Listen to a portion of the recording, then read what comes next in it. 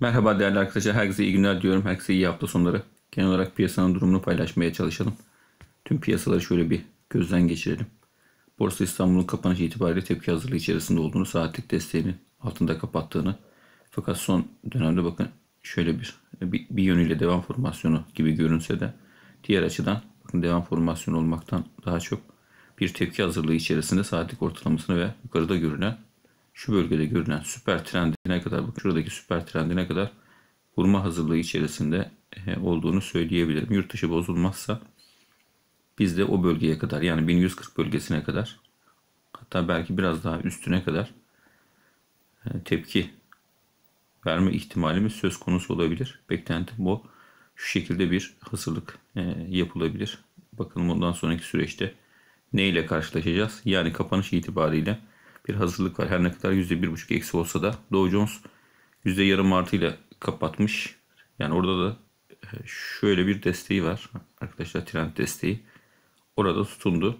E, şimdi onay mahiyetinde yukarı çıkması beklenebilir iki gün içerisinde. Ondan sonraki sürecin yine burada da aşağı doğru olma ihtimalinin olduğunu belirteyim. S&P'ye bakalım. S&P 3280 iyi bir kapanış yapmış. Eksideydi %1,5 eksideydi biz kapanış yaparken. Tam beklediğim şekilde bugün hareketin biraz tepkili olacağını ifade etmiştim. Ama bunun tepki olduğunu unutmamak lazım. Şuradaki ortalamasına kadar vurup ondan sonra sürecin aşağı doğru yönelmesi şeklinde. Çünkü zaten trendi yönünü aşağı doğru çevirdi.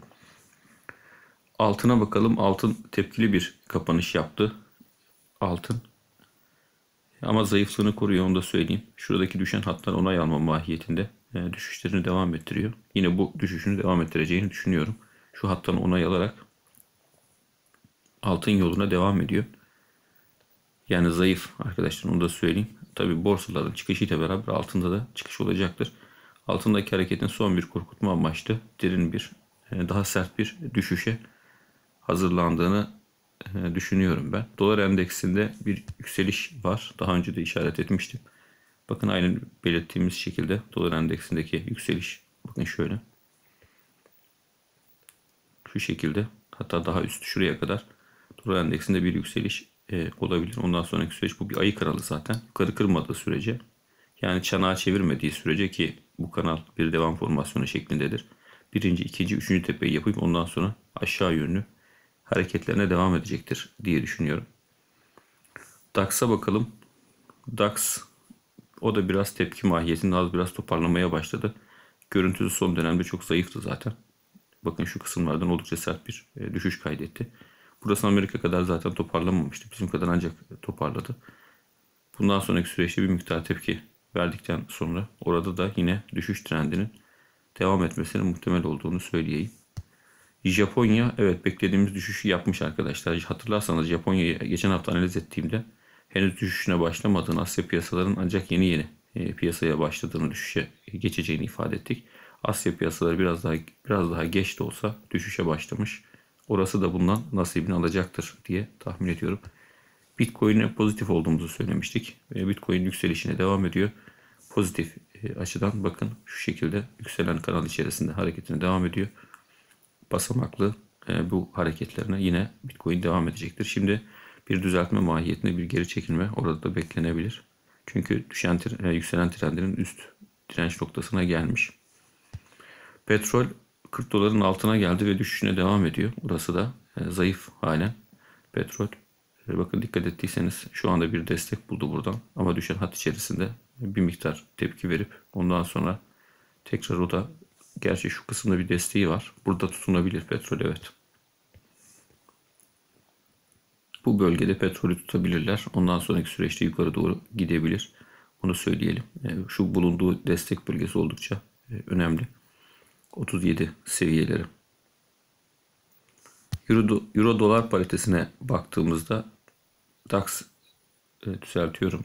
Dolar endeksi tabi yükselince Euro dolarda Euro aleyhine bir e, durum söz konusu oldu ve e, dolar değer kazanmaya başladı. Euro dolarda e, geri çekilme söz konusu oldu. Yukarılı noktaları denedikten sonra şimdi hızla aşağı doğru e, yöneliyor ve bundan sonraki süreçte ise şurada bir destek bölgesi var. Ancak ben bu sefer o destek bölgesinin kırılma ihtimalinin olduğunu düşünüyorum. Bakalım kıracaklar mı 1016 bölgesi. destek olarak görünüyor şu an için. Hindistan borsasına bakalım. O da bizim gibi aynı bakın son dönemde o da düşen. O da aynı şekilde yükselişlerini kaydedip geri çekilmeye başlamış. Orada da satışların hızlanacağını tahmin ediyorum.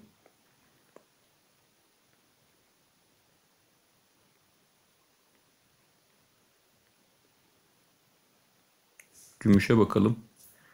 Gümüş tepkili bir kapanış yaptı W hareketi içerisinde. Ee, şuradaki desteği kırmazsa gümüşte bir toparlanma görülebilir. İkili dip şeklinde bir hareket yaptı. Burada oldukça sert düşmüştü zaten. Şuradan onay mahiyetinde bir yükseliş yapıp ondan sonraki süreçte bir miktar daha şu 20 bölgesine kadar gümüş çekilebilir. Ee, şu bölgeyi kırarsa eğer burayı kıramazsa zaten e, ikili dip şeklinde yükselişini sürdürecektir. Ama şurada hareketi başlattığı hızlı hareketi başlattığı nokta var 20 dolar. Oraya kadar gümüş çekilebilir. Onu söyleyeyim. Yani yapısal olarak şuradaki onay mı alacak yoksa W yapıp yukarı mı dönecek onu göreceğiz. Bu iki ihtimalde söz konusu olabilir. Yalnız bir tepki içerisinde olduğunu e, belirtelim gümüşün.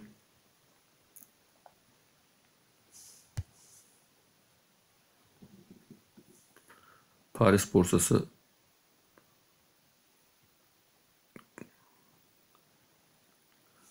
oldukça zayıf görünüyor o da.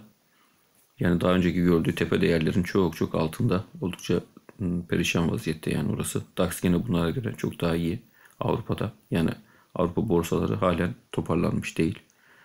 Ee, oldukça zayıf. Onu belirtelim.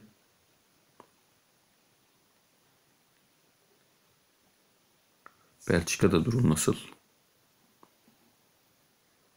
Orası da aynı. Yani orası da aynı şekilde bakın. Yani daha da toparlanmış değil. Yani o pek sadece tepkiden bahsediyoruz. Biraz zaman alacak e, bunların işi. Öyle görünüyor yani borsalar çok iç açı değil arkadaşlar. Bunu söyleyelim. Bizim döviz kuruna bakalım. Bakalım bir 8 39'lara 8 bakayım buradaki fiyatlara göre 8.35'lere kadar gelmiş. İnanılmaz bir çıkış var. Dolarda. Yani acayip bir çıkış var dolardaki hareket. Dikkat ettiyseniz.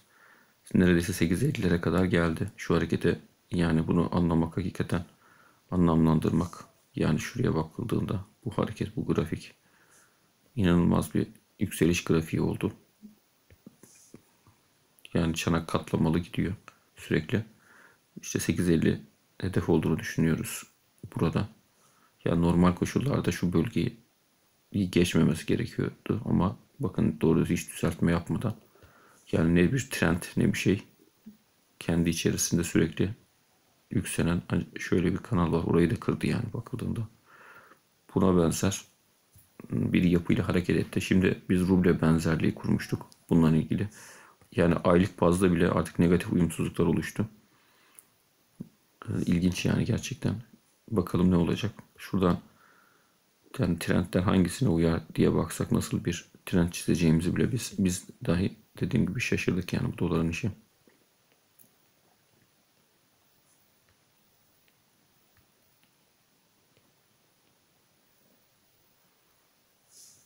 Yani bu, buna benzer bir hal aldı maalesef 8.50'lere kadar.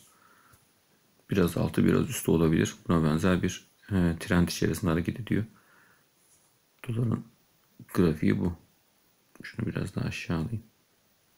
Evet. Doların grafiği bu. Peki burada biz ruble benzerliği kurmuştuk. Rublenin geçmiş hareketlerine bakacağım.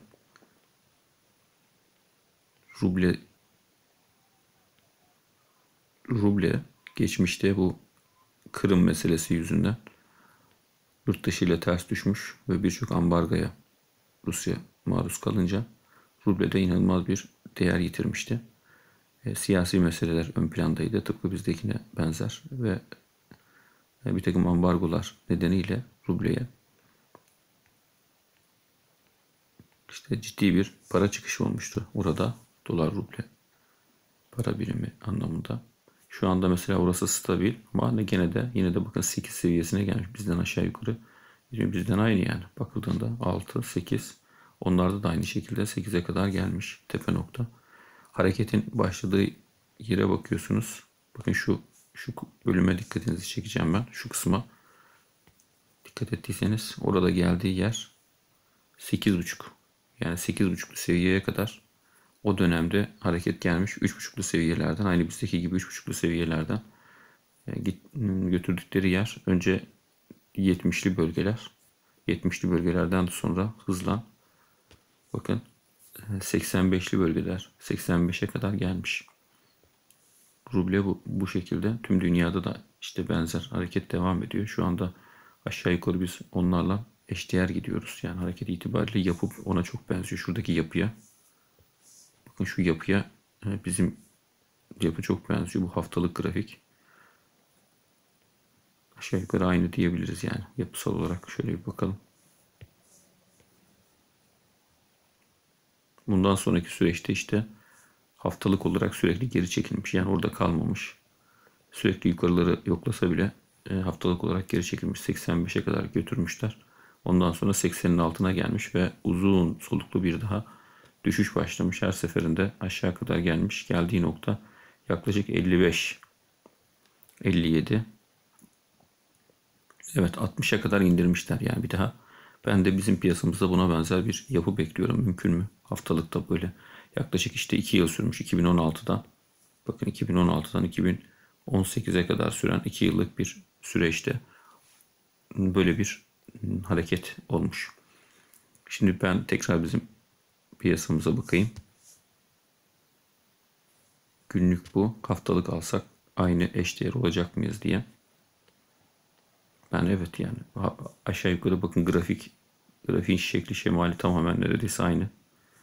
Şurada bizimki daha bakın şöyle grafik aynı şekilde devam ediyor. Şimdi bundan sonraki süreçte buradakiler olacak olursa 2 yıl içerisinde grafiğin işte şöyle çizdiğimde 6'lara kadar aynı oradakine paralel 6'lara kadar gelmesi e, beklenir diyelim. Yani genel anlamda tabi böyle olur mu bilmiyorum. Söylediklerim yatırım tavsiyesi genel olarak grafik okuma ve bilgi vermedir. Onu da hatırlatayım arkadaşlar. Şimdi bizim piyasalarımızla alakalı vaktim olursa e, genel olarak bir değerlendirmede e, yapmaya çalışırım.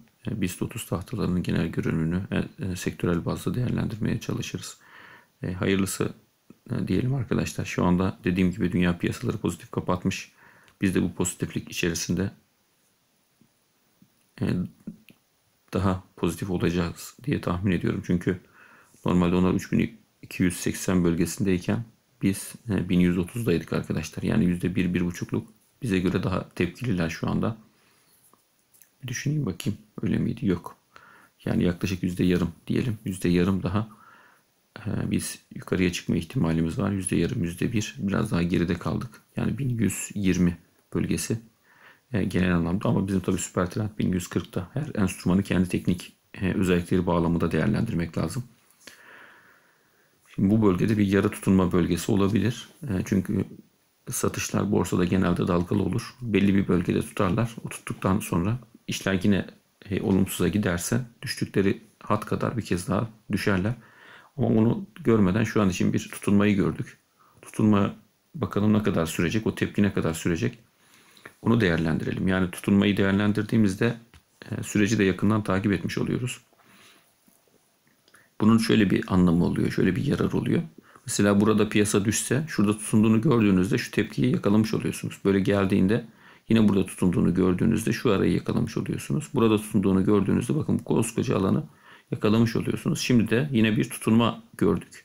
Henüz tabii netleşmedi. Yani yeterince saat, orada 3-5 saat kaldı.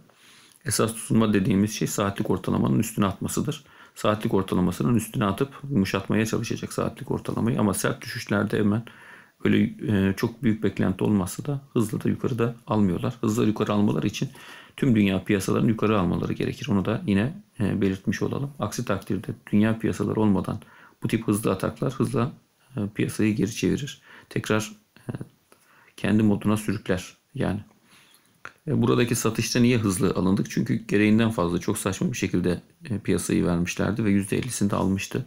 Şimdi burada da esasında bakın bu iş %50 noktasına kadar çıkabilir. Yani 1150 noktası bile e, tepkisel anlamda gidilebilecek tepki bölgesi olarak. Şu bölgeyi zaten yapmadık. Bu, bu, bu bölgeyi bir şekilde yapacağız. Bunu er veya geç yapacağız. Biraz aşağıda biraz yukarıda. Bu bölgeyi yapmamız lazım arkadaşlar. Onu işaretini onu söyleyeyim. Yani şurası buna biraz denk geliyor. Hani tamamen yapmadık değil. Biraz denk geliyor ama zayıf kaldı yani büyük kaldı. En azından şunu e, yap, yapalım diyelim. 1130 1140 normal bir e, makul hedef olarak belirlenebilir. Ama yurt dışı pazartesi bozarsa elbette ki biz de bundan olumsuz etkileniriz. Bizim şu anki hedefimiz şu e, saatlik e, yükselen trendin içerisine atmak, saatlik ortalamasına vurup süper trendine vurup e, ondan sonra bir durulma. Bence hedef bu.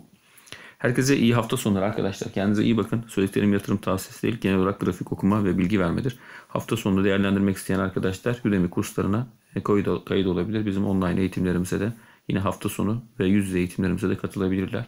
Bu arada e, Udemy kursunu alan e, arkadaşlar 150 arkadaş var. 150 küsür, 160, 170 neyse. Bu arkadaşlar e, vakit buldukça oradaki kurslardaki videoları tekrar tekrar izlemelerini öneririm. Çünkü biz bile dönüp zaman zaman işte formasyonların genel özellikleri nelerdir? Yapısal analizin temel mantığı nedir? Felsefesi nedir? Onlara dönüp dönüp bakıyoruz. Çünkü atladığımız bir konu olmasın diye. Aynı ders çalışan bir öğrenci olsun diye.